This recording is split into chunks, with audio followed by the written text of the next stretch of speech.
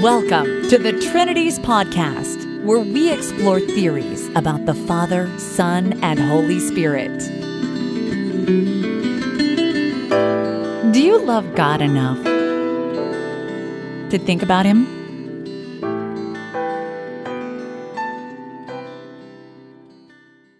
Episode 355 Dr. Steven Nemes on Trinity Theories, Part 2.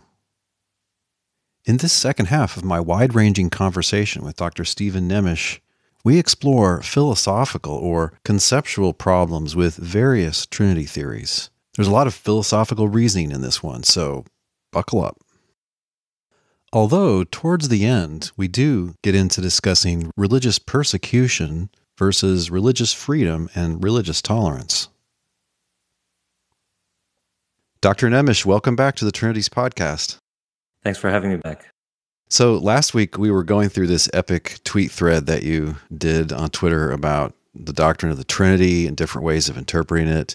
And in the first part, we discussed some of your opening salvos that it looks like you run into tritheism if the divine nature is this, you know, shareable universal essence. Whereas if it's a concrete essence, you seem to run into contradictions that they're saying that there are three things here and that there's one thing here. And mm-hmm. uh, in the part in your thread that we're at right now, you suggest a way out of this dilemma. So why don't you take it from there? Sure. So one way out of this dilemma is to take the ousia as a concrete instance of a nature, and then to understand the hypostases as modes of subsistence or dimensions of that ousia. And this is the kind of answer that you get in, for example, Karl Barth and Karl Rahner uh, they say that hypostasis does not mean person in the sense of like a center of consciousness or a self. They think rather that it means a mode of subsistence, a way that something exists. The consequence, of course, is that Father, Son, and Holy Spirit do not denote centers of consciousness or selves or anything like that. These mm-hmm. are rather uh, three modes in which God subsists, three ways that he exists. Mm they can be eternal. They can be you know simply constitutive of the divine nature so that god is always subsisting in these three ways. Maybe they don't have anything to do with the you know salvific economy or whatever. But that's one way to get out of this problem right? So the problem was that if you define ousia as a concrete nature well hypostasis means exactly that. So how do you have one concrete nature and three concrete natures? Well then you redefine hypostasis as a mode of subsistence or a mode of being. Now the problem with that is that this view does not actually allow you to make certain statements that the Catholic tradition is committed to. For example, either you cannot call the divine being God, or else you cannot call Father, Son, and Holy Spirit God. And the reason why is this John of Damascus says that typically you cannot apply one and the same name both to a whole and to the parts that constitute that whole. Uh, so, for example, a collection of bricks is not itself a brick, but rather a house or a wall or a pathway or whatever. Uh, just like a collection of football players is not itself a football player, but rather a team. So, when you have things added up, the thing that they make up, the whole, you don't call it by the same name as the parts. So, let's say then, for example, that Father, Son, and Holy Spirit are modes of God's subsistence. Well, they are modes that belong to a whole, which is the divine nature and so either the whole is God, in which case Father, Son, and Holy Spirit cannot be called God individually, or else Father, Son, and Holy Spirit are called God individually, and you have three gods, but you cannot call the whole God. So the problem with this basically is that you still have this problem of how to preserve Catholic Trinitarian language. How can you say that the Father is God, the Son is God, and the Holy Spirit is God, and yet there are not three gods, but only one God? Now, to me, this looks problematic that you should characterize the Father and Son as modes because then whenever the Father speaks to the Son or vice versa, you basically have God in one mode talking to himself in another mode. So you have just fundamentally God talking to himself, which right. doesn't seem right. But a person might say uh, modes are, by definition, not supposed to be things. So they shouldn't count as parts. They're just like aspects or something.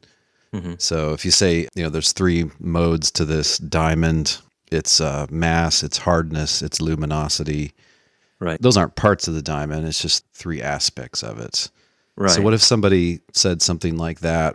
I think that it doesn't matter because I'm not using the word thing or whatever in, in the sense of like a separate existence. I'm just talking about for me in this discussion right now, a thing is something that you can refer to as individually okay. in, in separation from everything else. Just absolute bare bones conception, something of some kind.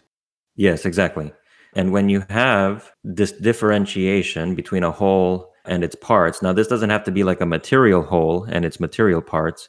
It can be the difference between, for example, a cat and its shape and its biological species, right? So the cat, in some sense, is sort of the whole to which all these things belong but you can look at particular dimensions of the cat and say, well, its shape is like this, its weight is like this, its species is like this.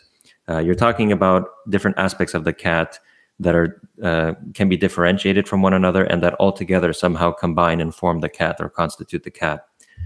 Okay. The same thing holds, right? Mm-hmm. So the cat has various dimensions, but the whole cat is not a dimension, right? Uh, mm-hmm. The cat is a substance, but the various dimensions making up the cat are not themselves substances. So right. the principle still holds that you cannot call the whole by the same name as you would call the individual parts. And so that means that if the divine Ousia is called God, then Father, Son, and Holy Spirit are not properly called God, uh, or vice versa. I don't understand why there would be that rule of naming. I mean, if Angry Dale was a mode of Dale, you might call Angry Dale Dale. Mm-hmm. Well, so when you talk about Angry Dale, you are including sort of substance and accident together in a single phrase. Angry mm-hmm. dale. Yes. That's a little different than talking about dale's anger because there you're not referring to the substance and the accident together you're referring strictly speaking to the accident. Um, okay. um, so what i'm doing in this argument is i'm referring to father son and holy spirit specifically as modes of the divine ousia that are presumably distinct from one another because otherwise you wouldn't have an actual trinity well, because they're, you know, on the level of mode, Father, Son, and Holy Spirit are distinct from one another. Now, they are the modes of the divine Ousia, but referring to them individually, either they take the title of God or not. And if they do, that means that the whole cannot. And furthermore, it would mean that there are strictly speaking three gods because there are three modes. Why couldn't the name God just be ambiguous between meaning a god or the god and mm-hmm just modes of a god. We just put another entry in the dictionary. Well, maybe the name God could be ambiguous in that way, but once we disambiguate it, we find out that Father, Son, and Holy Spirit are not God in the same sense that the divine Ousia is God. Mm. And this raises all sorts of problems because then you think to yourself, okay, well, what is the affirmation of monotheism? In what sense does Christian theology have to be a monotheism? We can't just make up whatever sense we want. Presumably, we have to try to be faithful to our sources we also have to think okay these people who were first struggling with this issue of trinitarian theology what did they understand by monotheism? How did they define it? Mm-hmm. and once you disambiguate things then the rule will apply once more. If there is this distinction between the three modes of subsistence of the divine ousia then either those things can be called god and there are three gods or else only the divine ousia is properly called god in which case father son and holy spirit are not gods or not each properly called god would seem to me that the central use of the term God would be to refer to a God. but that would only be the divine Ousia, right? Right. The divine Ousia would be God, but that means that its modes are not properly called God. So you cannot yeah. say that the Son is God. The Son yeah. is a mode of God. It's a weird fit with the New Testament, too, in that it's almost always the Father being called God, and then in a few instances, also the Son. But then that sits poorly with this, it seems to me it seems like the word God should be mostly reserved for the divine Ousia and not for any of the persons, if this theology is right.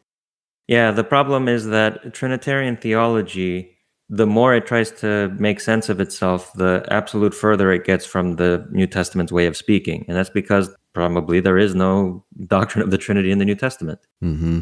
You can tell how far you're getting away from the New Testament when you no longer use anything like the same language. You no longer express yourself in the same way. Mm. You run into all these theoretical problems where you think, oh, well, this is not really a, a very Trinitarian way of speaking that the New Testament is proposing here. Once you see that you are talking in a way that you just simply cannot find in the New Testament sources, that is evidence enough, I think, that you are so far away theoretically from the New Testament that you're talking about something else altogether now.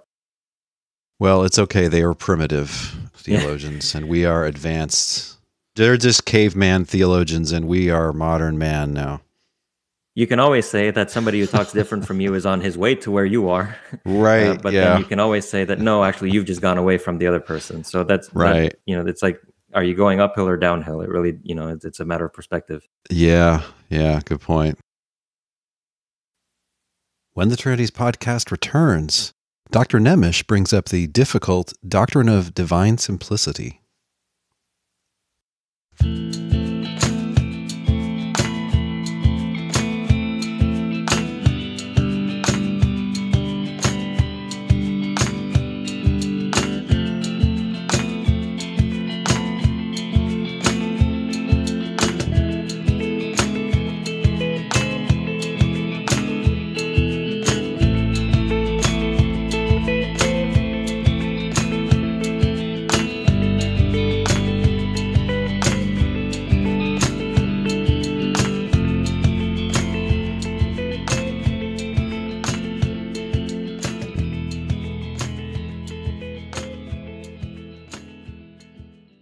The next tweet in your thread, you suggest since you're raising a problem about speaking loosely of parts and wholes, mm-hmm. not in the strict sense, but in the sense of a thing and its three modes, which I guess will be essential to it. You say there's a traditional speculation here that might be brought into play. Tell us about this doctrine of divine simplicity and how someone might apply it to this type of problem in theology. Well, briefly stated, the doctrine of the divine simplicity states that God is not composite in any of the ways that finite beings are composite. Mm-hmm. Uh, he has no mode of composition that would imply finitude or limitation on his part or the need of a cause. So that means that he's obviously not physically composite. He's not composed of a body that can be broken up. But in its more radical statements, which I think are its more honest statements, ultimately it means that there is not in God a distinction between essence and existence or uh, subject and accident or like thomas aquinas says uh, nature and supposit. Basically the idea is that god is this pure undifferentiated actuality. He is not an instance of something. He is simply pure being pure undifferentiated actuality. And only thus can he be the cause and the ultimate source of everything that is composite. And so everything therefore that requires a cause, requires something to explain the unity of its constituent parts. Mm-hmm. Mm-hmm. Well, you know, it's true that the doctrine of divine simplicity was more or less taken for granted by all the participants in the early Trinitarian debates. You really find this doctrine in all kinds of different world religions, but it was very prominent, especially in the Greek philosophical notion of God and especially the Platonic one. The problem with this is that even though the early Trinitarian theologians constantly made reference to the doctrine of divine simplicity to try to understand how there can be one God and so on, it's not obvious that they are not abusing the doctrine in their theologizing, right? So somebody can say, well, it's true, you know, the hypostases are modes of subsistence, but however, this, you know, we have to remember that God is absolutely simple, and so he's not composed by these modes. There's no composition. Well, at this point, it seems to me like people are just contradicting themselves. They either want the Trinitarian theology or they want divine simplicity, but you can't really have it both ways they use, it seems to me, divine simplicity to ward off some of the undesirable consequences of their Trinitarian postulations. But it's not really principled because if you're really committed to a doctrine of divine simplicity, you have to do away with all notion of, of differentiation within God whatsoever. Yeah. So it it seems to me like divine simplicity is a useful tool that they bring in when it's convenient and then they put it away when it becomes inconvenient. I think that's fair. The ordinary layperson, Dr. Nemes, I think has a real hard time even conceiving what divine simplicity is. Let me give a crude analogy. So imagine that, you know, you believe in God and, and God is this, say, pincushion.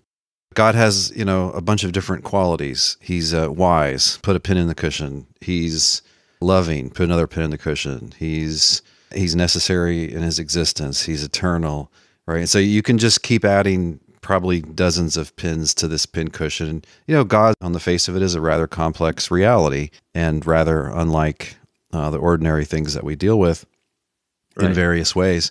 Okay, but if divine simplicity is true, then anything that's intrinsic to God just is God. It's identical to God. So, you know, erase the pin cushion and shrink that down to a point in classical geometry just a location. It has no breadth or length or depth. It's just, it's just, mm-hmm. that's divine simplicity. there is no, you can't distinguish between different divine attributes. You can't distinguish between God and his attributes.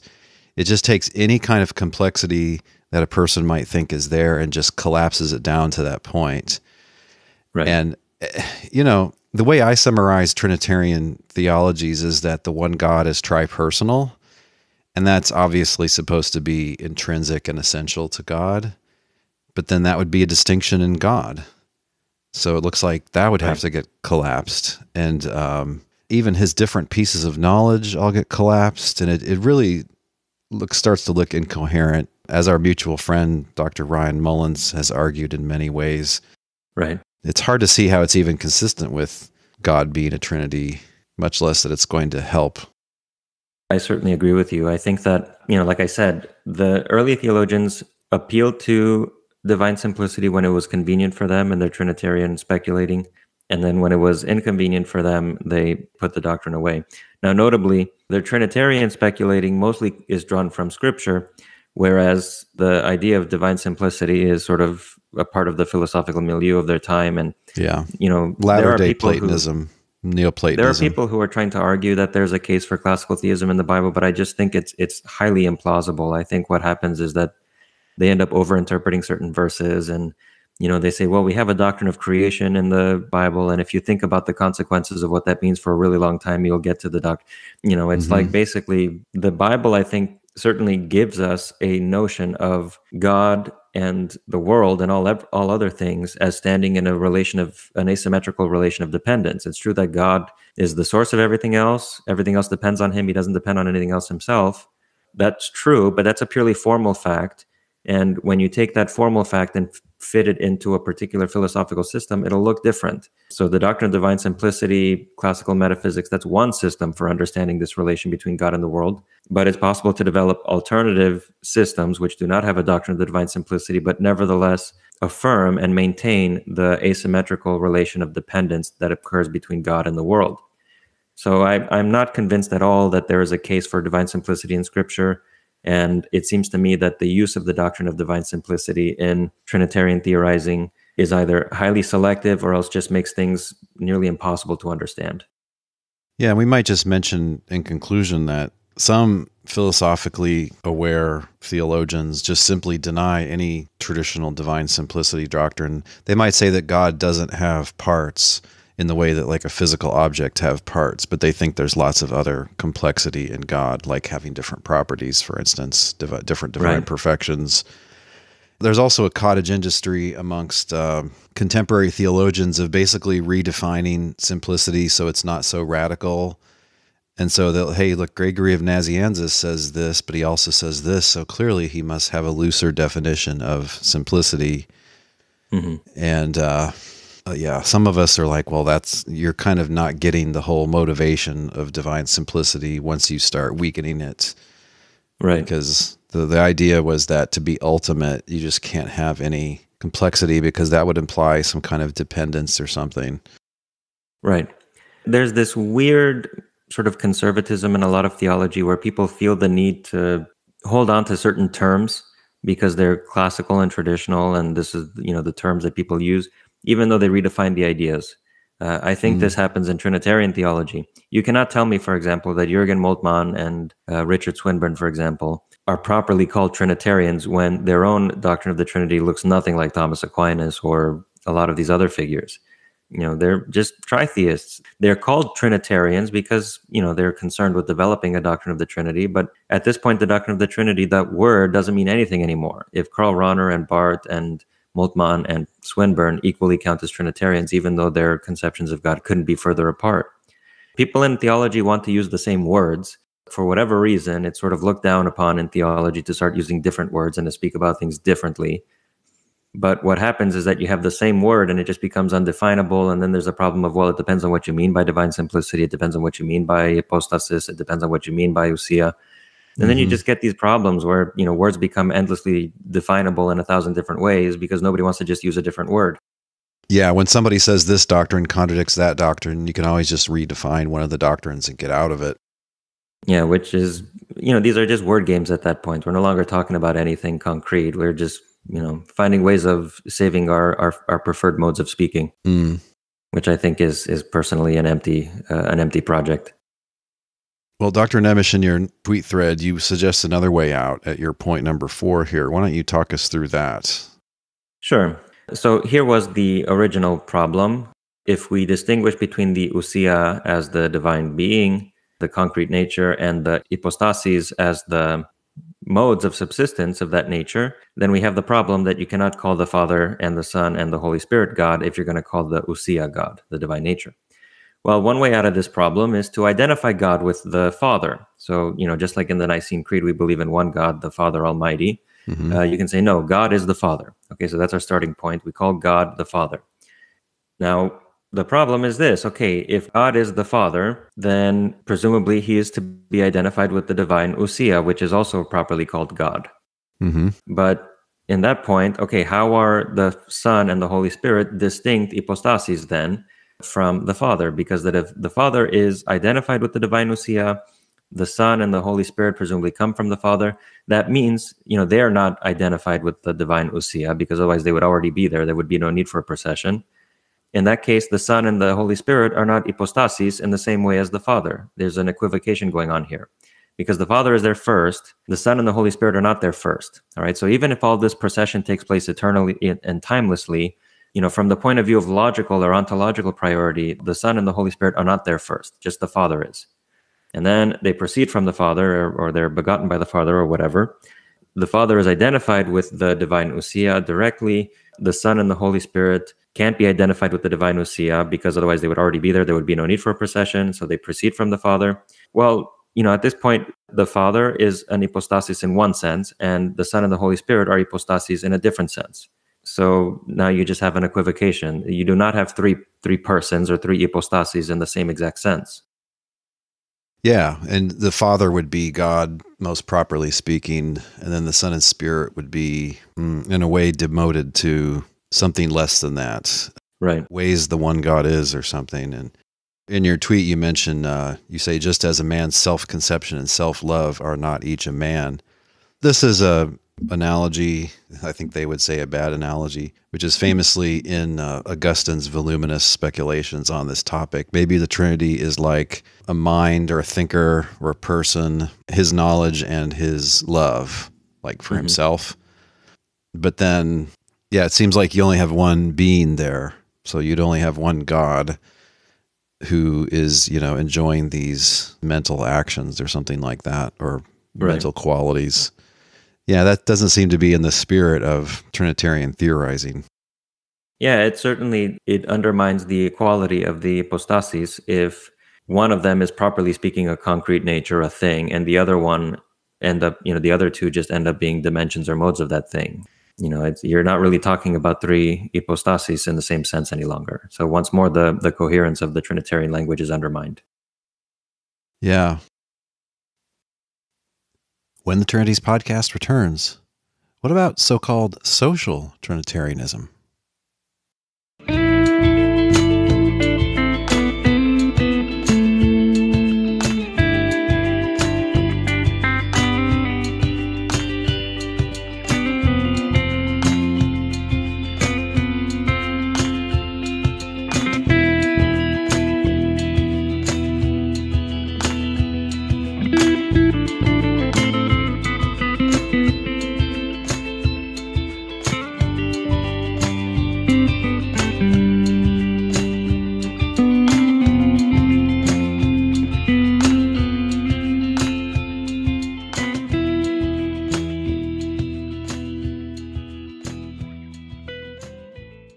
Now, it seems to me, Dr. Nemes, that in the 1800s, there was kind of a rediscovery of the human Jesus and a lot of renewed interest in wanting a Jesus who is truly human and not just who appears like one.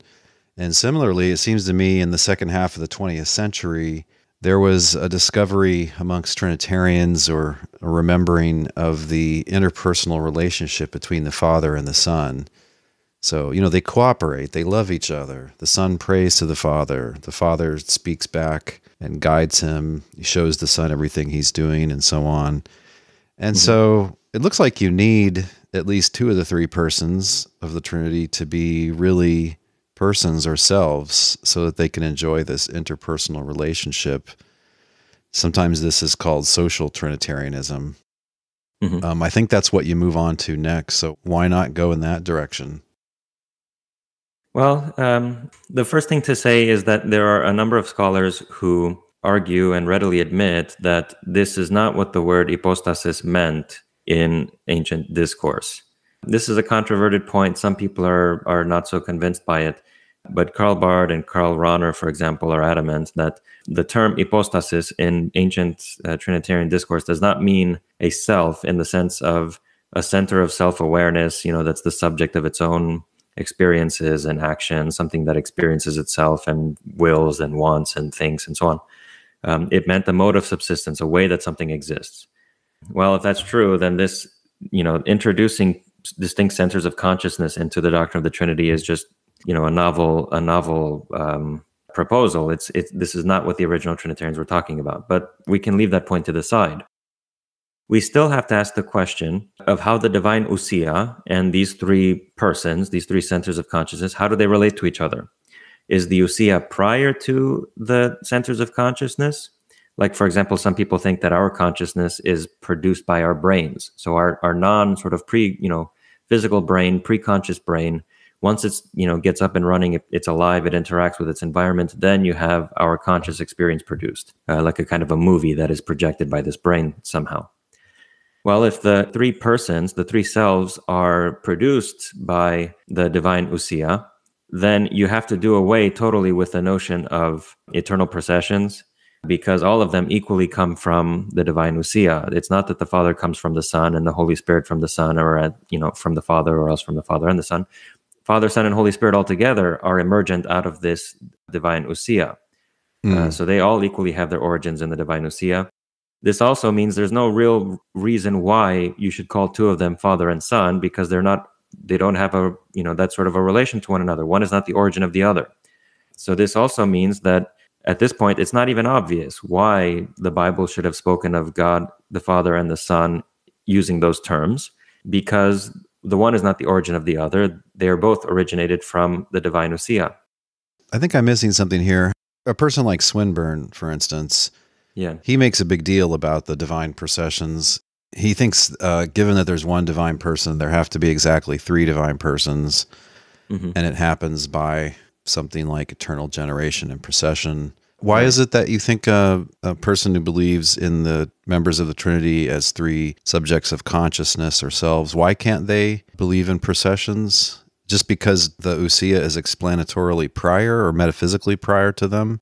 Yes if the ousia, so it's a conditional argument. If you grant that the ousia is explanatorily prior to the persons, so that the persons emerge out of the ousia or whatever, then strictly speaking, all of them are originated. None of them are unoriginated. Right? So even the Father would be originated by the divine ousia. He would emerge from the divine ousia, which is, of course, contrary to the traditional Trinitarian point that the Father alone is unoriginated. The second point would be that because Father and Son and Holy Spirit all equally emerge out of the divine ousia, there's no reason why the Father and the Son should be called that, because the one isn't dependent on the other. They're both emergent from the ousia.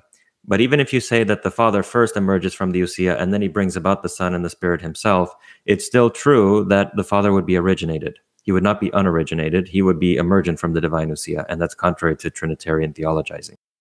Hmm. Yeah, I think this would work against some of these three self Trinitarians, not others. I don't think Swinburne has the divine ousia as a prior thing. I think he thinks properties are just to be understood as concepts or something. So, mm-hmm. what's primary for him is just the Father. Right. And of course, our concept of divinity applies to him. But there definitely are other Trinitarians who are more traditional who seem to be thinking that there is a divine ousia that is eternally, necessarily, essentially manifesting, so to speak, or giving rise to these three beings, however you want to put it. Mm-hmm. And then, yeah, of course, some of them embrace denying the divine processions, right? Right. They deny it because it has no support in the Bible, which I agree with. Uh, but they also deny it because they think it would make the Son and Spirit less than fully divine because they exist because of the Father. Mm-hmm. Well, then the question is why are two of them called Father and Son if they don't have a relation of origin relative to one another? Yeah, I think they would probably just bite the bullet and say that's just what Scripture says. One of them's the Father, one of them's the Son. So we just use those names. Well, what Scripture says is you are my son today i have begotten you right so the the motivation that scripture provides for that difference in naming is that one is made son by the other. You can interpret this as an eternal procession. You can interpret this as an adoption. You can interpret it however. But what you cannot do is say that father and son are just called that for whatever reason, because scripture actually gives you a reason. One is made son by the other. So I think that you know you can dis- you can deny the eternal processions. That's fine, but it's still true that you have no reason to call one father and the other son, whereas scripture does provide you a reason, uh, namely that the one is made son by the father. So either this refers to, a, again, either this refers to an eternal procession or also refers perhaps to the adoption of Christ at, at his baptism through the outpouring of the Holy Spirit or whatever. But in any case, one is made son by the other. It's mm-hmm. not true that scripture just uses these titles without any explanation. Yeah, that's an interesting point. And of course, the uh, if you go back to the psalm that they're quoting there, is probably something like a coronation psalm, wasn't it, for King of Israel? Yes. So yes, it's not reproduction, but it is the king being granted this status, son of God, by God in virtue of mm-hmm. his being king, I guess, over God's chosen people. Yeah, that's exactly right. Yeah, at, at bare minimum, the father son analogy or metaphor, whatever it is, suggests that the son depends on the father for his status or or existence or something Right. They'll just have to say it's like functional or something like the person's just, you know, eternally decided to cooperate in a certain way and that this one would be in charge. So they just call him father because that's like a hierarchical position of authority. You can say that, but there is no language whatsoever in scripture that justifies that. I mean, at, at this point, it seems to me we're just so far from what scripture says and from what the historic Trinitarian tradition says that you're off in your own land. Um, yeah. You know, I, I think like if you have any conservative spirit in you at all, you don't want to, you know, invent new mythologies and new, uh, you know, pre-creational stories about how these titles came about. I, I think that this yeah. is so speculative. It's, it's, it just becomes unconvincing after a point. Yeah. And any passage that you could try to construe as having to do with divine persons, eternity before creation or something like that it's only going to have the two persons. It's never going to have the third one. Right. And so you just don't get this pre story of, you know, these three sitting down together, so to speak, uh, or just an eternity deciding to have a certain policy. Like there's just no materials for it. Right. I agree. I think that's a dead end. I've called this before the problem of the missing amigo. the three amigos, you know, yeah. Social Trinitarians talk a big game about how beautiful this picture is, about there's this eternal dance of love. And it's like three people, like, you know, dancing ring around the rosy, jumping up and down together for a And this is just a perfect picture of what perfect love is and so on. But you get this relationship between father and son. And it, okay, there's a few passages you could argue have to do with, you know, before the creation of the world or something, but you only get two amigos. Right you're just making up this just so story because you think it sounds really cool, but it seems like it's not really well motivated. We talked a little bit about this last time, but I think in theology, you can get away with so much that in any other field of inquiry would be laughed off as ridiculous. The standards of rigor in theology are entirely misplaced. People can just take for granted, you know, like what we're talking about now, this picture of God. It's as if people forget that theology starts with the interpretation of scripture. Mm. That's what every theologian from the beginning of the Christian church was doing, was interpreting scripture and trying to make sense of it.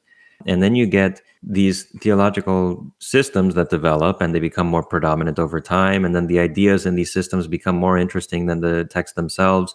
And then, you know, the text just become a, a means for, you know, finding images or, or brief, you know, suggestive little uh, passages that can help to bring out an idea or an, an aspect of the idea that you're so enamored with and you start ending up with something that looks nothing like what is in the New Testament. And you start talking in ways that bears no resemblance whatsoever to the way that Peter or Paul or James or John spoke. Or sometimes even the mainstream tradition too, you know, like yeah, exactly. one of these that blows me away that I, I encounter all the time is what I think is a very recent idea that God Himself, in order to show sympathy and solidarity with our suffering, that God Himself suffered and died. They think this helps somehow with the problem of evil because God's suffering from it too. Mm-hmm. And it kind of blows my mind because not only is it not a New Testament theme at all, but it's something that the mainstream tradition would have just laughed off because they think God can't suffer. Yeah, and he certainly can't feel he certainly can't feel pity for us and you know submit himself to suffering for that reason because the divine nature is impassible. He is unaffected. All the bad things that happen in the world, God strictly speaking, in his divinity is unaffected. It doesn't disturb him at all. You know, of course, people like Jürgen Moltmann who who have this idea, they not only propose this idea that God suffers out of solidarity with us, but they also reject the classical idea of God as being heartless or cruel or simply unbelievable, you know, in the post-Holocaust world. Mm-hmm. So, it, admittedly, like at least some of these persons are conscious that they're going beyond the Catholic tradition and they're even conscious in, in rejecting it. Yeah, that's right. Some of these ideas start that way. And then once they get released into the wild, now a person comes along and seems to think that this has kind of been the whole point of the tradition all along that God is so sympathetic to us that he suffers and dies along with us. Right. And that that's the part that blows my mind because it's just so disconnected from the actual history of theology. Right. It's extremely right. recent, you know. It's like this eternal dance of love, same thing.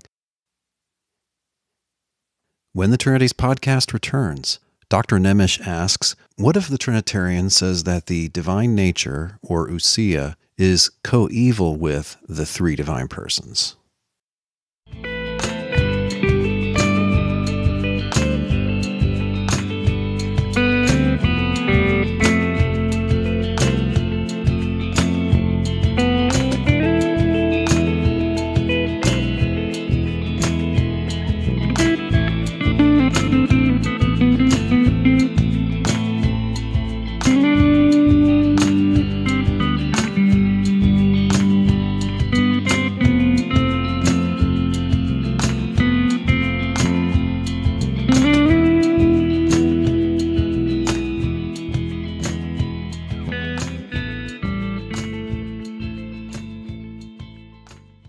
Okay, in your next tweet, you say, alternatively, one may say that the divine nature is coeval with the three centers of consciousness rather than producing them.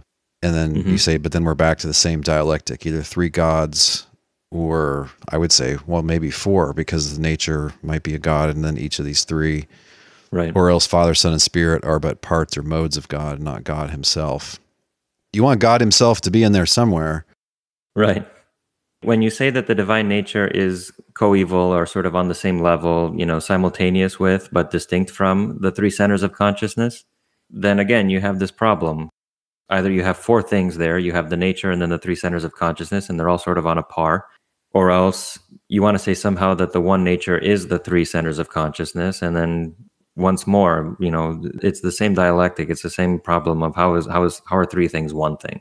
You know, either the one thing is an abstract nature that they instantiate, then you have three gods, or the one thing is a concrete nature, but how do you have a single concrete nature and, and three centers of consciousness? Does the concrete nature produce the centers of consciousness? We're back to the previous problem. Uh, is the concrete nature on the same ontological level as the centers of consciousness? Well, now you have four things there. You know, is the concrete nature somehow the collection of the three of them together? Well, then either the collection is called God and not the three persons, or else each person is called God, but you have three gods. There are these fundamental, these, these formal problems, basically, with trying to put one thing in relation to three things. This is really the essence of the issue. If you want to put one term in relation to three terms, there are only so many ways you can do that. And no matter what way you try to do it, you run into the problem of saying something that the Catholic tradition has to reject. So, generally, the issue is this there simply is no way formally speaking, there is no way to put one term in relation to three terms in order to get a coherent notion that is simultaneously compatible with what the Catholic tradition wants to say and other dogmatic commitments that it might have. Now, what would you say if somebody offered a defense like this? Yes, I see the problems that you're pointing out, and I admit that it's hard to find a consistent set of claims here. But hey, God is transcendent, and Therefore, we're only going to have a very tenuous grasp of God. And why can't we just say that God is one in one sense and God is three in another sense? And well, we can't we can't exactly say what those senses are, but I mean that's just the sort of thing we should expect when dealing with a transcendent being, right? That our mind's going to get hung up on this kind of antinomy. Mm-hmm. There are a few things that I would say, I suppose, in response to this kind of uh, Mysterian position. The first thing that I would say is, why are you so committed to this way of speaking that you're willing to just throw your hands up and admit that you don't even know what you're saying, but you still have to try to say it? Why are you so committed to this? Well, somebody can say, well, this is what the church teaches or this is what scripture teaches. Are you really so sure that the church demands or that the that the scriptures rather demand that you say those things? The three essential, you know, Trinitarian sentences, Father is God, Son is God, Holy Spirit is God, there's only one God, Father is not the Son or the Holy Spirit, etc those precise formulations that are basically like commonly propagated for understanding the Trinitarian doctrine, what's so fascinating is that you do not find those sentences in Scripture. Mm-hmm. So you think that these sentences are supposed to help make sense of Scripture. Okay, well, first of all, you don't know what you're saying. You admit that you don't know what you're saying or what sense to make out of all this doctrine. Also, the very sentences that you think you have to use, those sentences do not appear in Scripture. And in the third place, how do you how can you make sense of scripture with something that you don't know what it is? So if you cannot even coherently and intelligibly formulate trinitarian doctrine, how is it that you can use it to make sense of scripture? What are you using to make sense of scripture? At the end of the day, you have to think, okay, you you think that you have to have a doctrine of the Trinity. Okay, that's fine.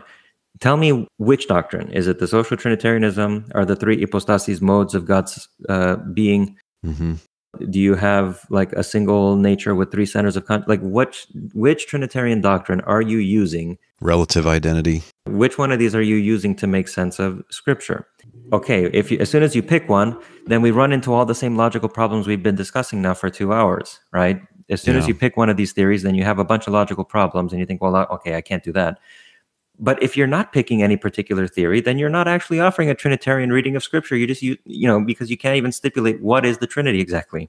It's like saying I'm giving a Marxist reading of, you know, a Marxist interpretation of a certain movie, but I can't tell you what Marxism is. Mm. I'm just hmm. using a word at that point. I'm not actually doing anything intelligible. I'm just calling my reading by a certain title. And this gets back to what we were talking about last week. Why are people so concerned about using this language? Because really, Trinity is a shibboleth it's not a, a single coherent idea that can be made sense of and that has an intelligible content. It's a shibboleth. It's a way that you show that you belong to a certain group, specifically a particularly intolerant faction of historic Christianity that eventually came to predominate and that exiled and excommunicated and burnt its theological enemies alive at the stake and asserted its unique right to interpret scripture and to demand that Christians believe this or that basically, you know, the insistence on using Trinitarian language, even while admitting that you don't know what the Trinity means, is just a shibboleth. It's just a way of showing your allegiance to a particular group.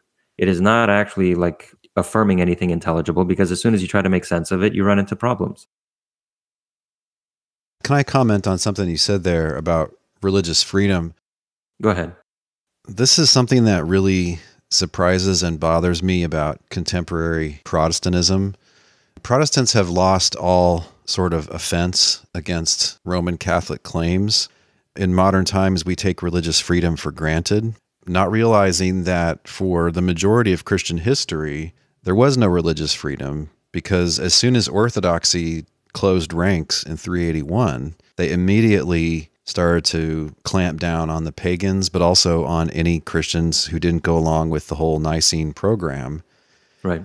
And that was the end of religious freedom because church and state were all bound up together. Right. And you didn't have any religious freedom in the Christian world until Protestants like John Locke reinvented it in early modern times. Now, God bless them. I'm very glad that the Roman Catholics have lately discovered religious freedom.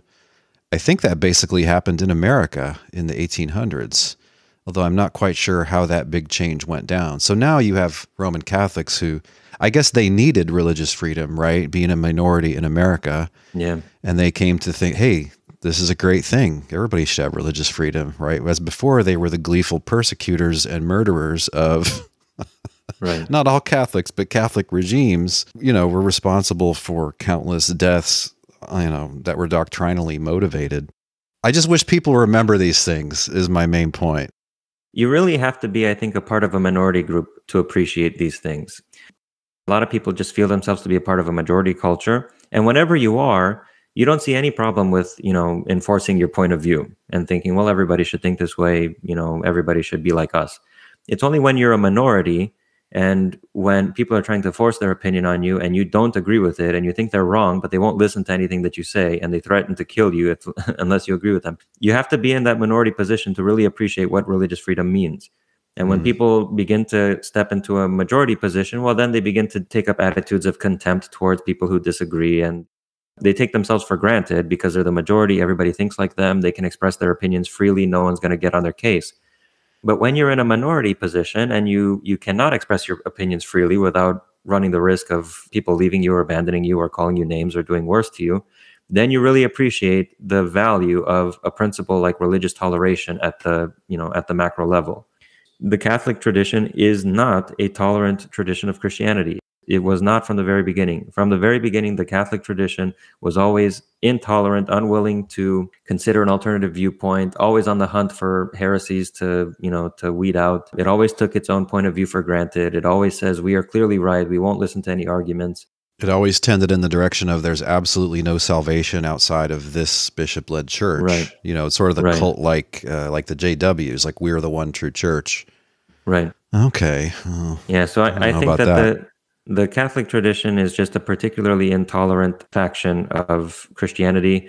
It had its heyday in the Reformation. It started to break apart. To some extent, there were still elements of the Catholic mentality in certain Protestant groups other Protestant oh, groups yeah. managed to break away from it some more. Mm-hmm. If there's anything that can qualify me, I suppose, as a theologian, is that I call myself a post Catholic theologian. I think Christianity has to move beyond this Catholic period and this Catholic mentality in various ways. And religious toleration, religious tolerance is one principal issue where I think the Catholic tradition simply has been wrong for a very long time and done a lot of harm and evil. Yeah, but they, you know, today you don't have Catholics killing Protestants. So I mean, I think right, they've so, kind of they've uh, co-opted it from the Protestants, basically. I should make it clear when I say Catholic, I don't mean Roman Catholic. I mean yeah. small case C, you know, just you know Catholic. So I don't mean specifically Roman Catholic or Eastern Orthodox. I mean Catholic in the sense that includes even some forms of Protestantism. The Orthodox in their own countries, I'm not sure, ever have discovered religious freedom.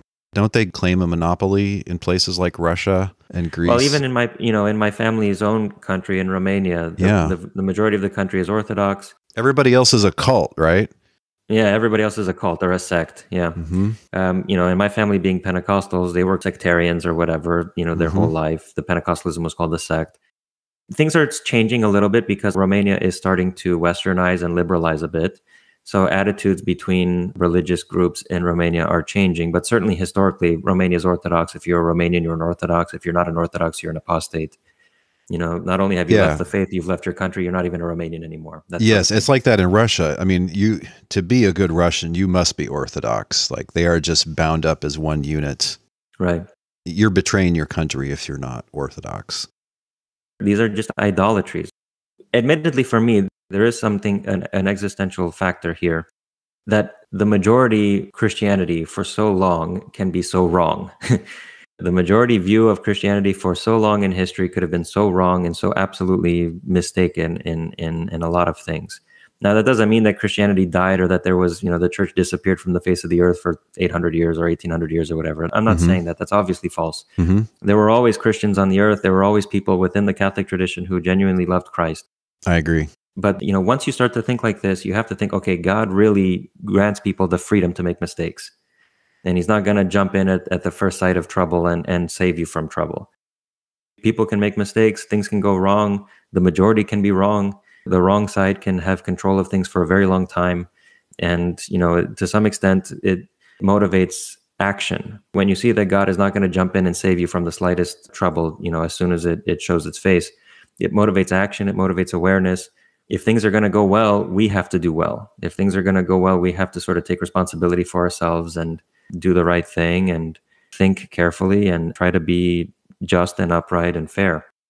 Now we're moving in an entirely different direction. But basically, my point is that, you know, as we started from the beginning, I think people are so concerned to maintain the term Trinity or talk about Trinity, etc., because it's a shibboleth. They want to show their allegiance to this particular faction of Christian theology, which anathematizes and condemns to hell and ex- excommunicates and calls you a heretic, even though by its own admission it doesn't know what it's saying. This is the most fascinating line from Karl Rahner when he says the Trinity is an absolute mystery that we don't understand even after it's been revealed. Now, how can you have revelation that you don't understand? It seems like if it's revealed, it has to be intelligible. But leave that to the side. The Catholic tradition itself admits that it doesn't know what it's saying, but at the same time, if you refuse to go along with it, it calls you a heretic or it sets you on fire or whatever. I don't know what to call it. I just think it's so obviously evil and irrational.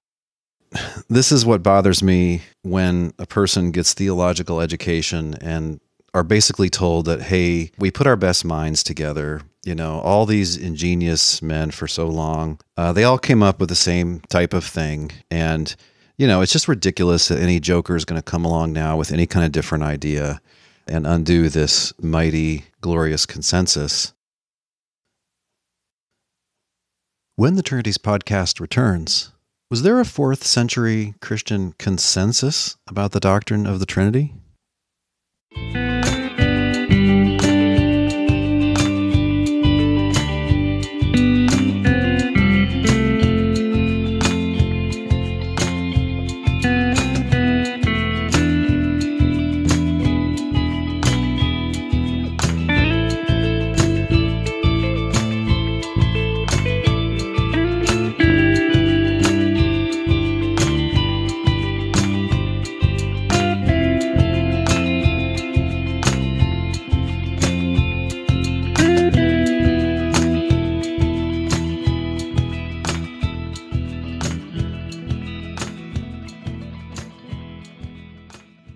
This brings me to your last tweet, and maybe this is a good place for us to end our conversation. Feel free to comment on this, obviously.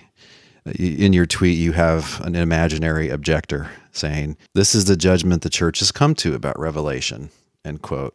And then you say, Yes, except for all those other Christians whose churches were confiscated and who were excluded or even killed for dissenting. Consensus by exclusion and coercion is not a genuine rational consensus. Right. You dig into the history of the famous eh, so called Arian controversy. Yeah, exactly. Historically, we just got Athanasius's hyper partisan account of all of this, which, you know, I'm grateful for all the information that Athanasius gave us, but he is not exactly an objective observer here. right. So, anyway, what we now know, and I think there's a consensus about this, is that in 381, by no means did most people think that the Nicene arguments had just swept the field and were just simply convincing. You had this boiling, roiling controversy still going on. People like Eunomius and others running around saying, no, we're just as convinced as ever that Nicene theology isn't going to work. And this was forcibly shut down by the emperor and the what's now called the Second Ecumenical Council. And then they enforced orthodoxy, right? They literally seized churches from bishops who were not part of that consensus. Mm-hmm. So, yeah, don't tell me that we all had a great discussion and came to some kind of consensus about it when the discussion was literally cut short by force. Right. Wolfhart Pannenberg, in his Systematic Theology, in the first volume, the chapter on method, this is where I get this line about coercion, right? He says coercion is entirely out of place in matters of religious belief, and a consensus accomplished by means of religious coercion is not a genuine consensus. And he's referring specifically to these ecumenical councils. I think people are oftentimes just either they're ignorant or else they're they're just oblivious. You know how can you say for example that the church came to this conclusion when literally christians were excluding other christians and say okay you're no longer part of the church because you disagree with us. Why? Right. you know yeah. just because you say so? That's one way to win an argument i guess but it's not really winning. Yeah i gave this example to my students once in, in a philosophy class. I said let's say half of you are on of one opinion and half of you are of the other opinion you know and we have this problem and I say, okay, you over here, you you all who believe X, get out of this classroom. You're no longer members of the classroom. And I say, oh, look at this, I've accomplished a unity. We're all agreed, right? I've, I've achieved that consensus. That's not a consensus. Yeah, and the next day you say the half that are left, look, we all decided this. We don't need to raise this anymore. Uh, right, exactly. You know, it's irrational. I don't know how people this is you know speculative obviously but my opinion is that there are just other things at work in all this talk and you see people on the internet reasoning like this all the time you know young depressed teenagers or you know 20 somethings who convert to catholicism or orthodoxy and they become like hyper traditional more than people in orthodox countries oh yeah I think these people just have some sort of psychological need that is being met by this extremely intolerant religion that they've adopted. But it's not rational. You cannot tell me that it's rational um, because to return now to this topic of the doctrine of the Trinity, nope, it seems to me the hardest thing to have a, an actual coherent discussion about with the person is the doctrine of the Trinity or the incarnation. If you question it at all, if you push it, like they throw out all arguments. They don't actually engage with any of your arguments. They don't present counter arguments. They just call you names. They call you a heretic. They call you this or that. They they mock you. It's all rhetoric. Mm-hmm. Yeah, I've been there. you know, I mean, you know what it's like. I want to be clear at this point, in case anybody is out there wondering, oh, well, Steven is rejecting the Trinity. Mm-hmm. My opinion is that the doctrine of the Trinity should be a theologoumenon. It should be a matter of disputable opinion. You know just like people can disagree about free will and predestination or people can disagree about you know eschatological issues i think the doctrine of the trinity should be considered a theologoumenon an opinion that you can have or you cannot have and it you know whatever you're still a christian either way it's just something people are curious about. So i'm not saying that we should all reject the doctrine of the trinity. I'm saying that it should not be this it should not have the status of a dogma because just in general it does not make any sense to have a dogma that by your own admission, cannot be coherently formulated and nobody knows what we're talking about. That's not a dogma anymore. That's just a shibboleth. It's just saying, okay, if you're going to be a part of this group, you have to use these words. You know, maybe some people just have this intuition. No, I think actually there is something here. There is something in Trinitarian theology. It seems hermeneutically fruitful. It seems religiously and spiritually fruitful. There's something here. I think it's worth preserving. Okay, you don't have to abandon it but you should not make it a dogma. You should not make it the boundary line between heresy and, and orthodoxy. You should not make it the point between Christian and non Christian, because there is not even a coherent statement of the doctrine of the Trinity to the present day. And it just seems to me entirely out of place to give it that much centrality for theology and that much centrality for spiritual life when it, you don't even know what you're saying and nobody can say coherently what is being said. Yeah, or at least there's not a coherent and widely accepted view. I mean, the right. more educated you are about the subject, the more you're going to be finding that you're disagreeing with lots of other people.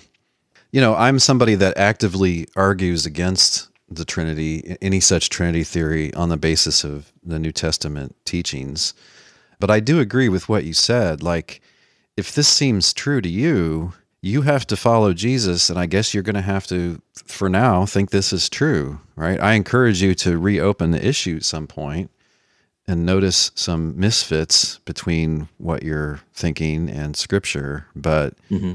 I mean, I have to allow you as a fellow believer to follow your conscience and your own judgment. So I can't tie you up and say I won't let you go until you uh, deny the Trinity or something, right. or try to pass a law against it. I respect it in that you have this theory that you're constructing and you're trying to make sense of all the evidence, I think that's all great. It's it's a sign of taking it all seriously. It's just that sometimes one's view of the evidence can flop around, you know, when you go through something like a paradigm shift, what seems obvious before on a certain set of assumptions or on a certain theoretical program that you're taking part in now just doesn't seem obvious at all. Right. And that's that's what happened to me through a lot of study and prayer. Yeah, I think that's exactly right. But I can't begrudge anybody else the same right to think through it at their own pace in their own way. You know, all I can do is say, "Hey, here's some arguments. I don't think they're begging the question. What do you think?"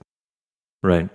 At the end of the day, it seems to me that you know my goal in in my writings and in in you know everything that I do is to call to a rational, cool-headed discussion about these things and especially those things where it seems that it's very difficult to have a rational discussion.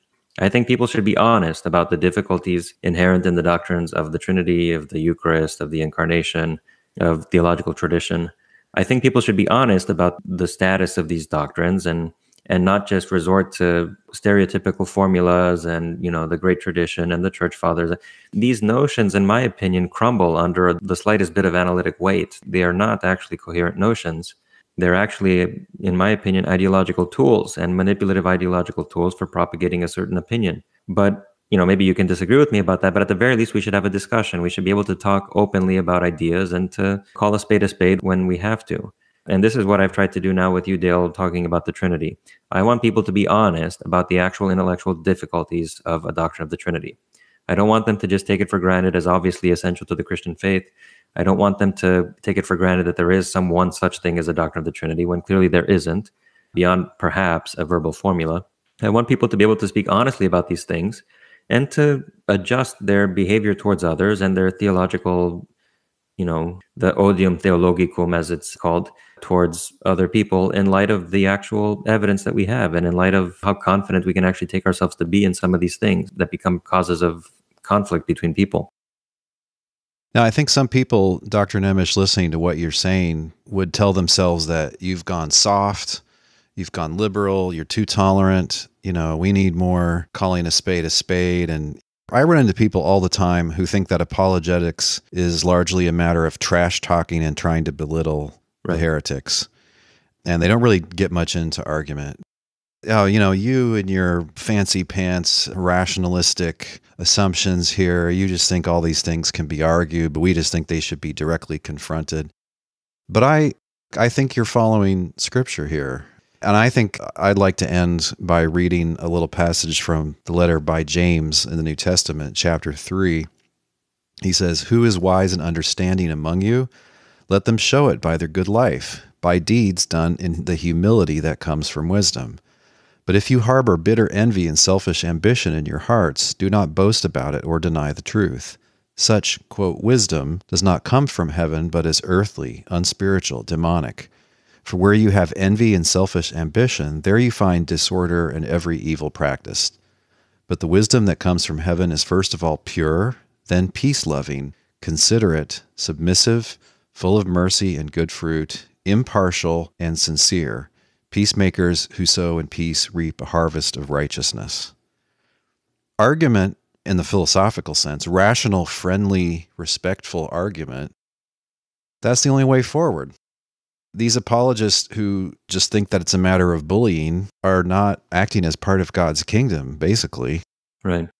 There's nothing rationalistic or modern about the attitude that you're recommending at all. It's as old school as it gets. No, absolutely. You know, I would say I am not an apologist. I'm a theologian. I'm somebody who tries to engage in reasoned discourse or logos about God and about everything as as far as it's related to God. And it seems to me that the way to do that is to try to consider the evidence as fairly and as objectively as possible, to consider objections, to hear alternative explanations and interpretations, and to be a calm person in doing all of this. It seems to me that's the way to behave rationally and you know simply to shout other people down and to propagate my ideas by force and so on. Leave to the side the fact that that's not scriptural you know wisdom from the holy spirit. Leave the scriptural part to the side even people who are non-christians can appreciate the difference between somebody who's a loudmouth and somebody who's willing to talk about an issue calmly mm-hmm. so even people who do not have the spirit of god can see the difference and appreciate one over the other i think it's another peculiar fact that people, you know, would take themselves to be fighting on God's side can nevertheless be obviously misbehaving mm-hmm. to Christians and to non-Christians alike. I think this is a very sad fact about life. You know, the people who take themselves to be on God's side and people who take themselves to be doing God a favor can actually be making things far worse and and be behaving badly. Well said. Dr. Nemes, thanks for talking with us. Thank you. Be sure to check out the two blog posts for these episodes at trinities.org, which contain a bunch of links to Dr. Nemes's work and to various things that we discussed in these episodes. This week's thinking music has been the track La Bella or La Bella by Mr. Smith. As always, there's a link on the blog post for this episode at trinities.org where you can listen to or download that entire track. If you love the Trinities podcast, please share this episode on social media like Twitter or Facebook. And help other people to find the podcast by giving us an honest rating and review in the iTunes store for your country. You can also support the Trinities podcast by giving a certain donation per episode. If you're interested in that, please visit patreon.com slash trinities. Finally, let us know what you think give us a comment on the blog post for this episode, or join our Facebook group at facebook.com slash groups slash trinities. The Trinities podcast is supported by and made for thinking believers like you. Thanks for your support, prayers, and encouragement.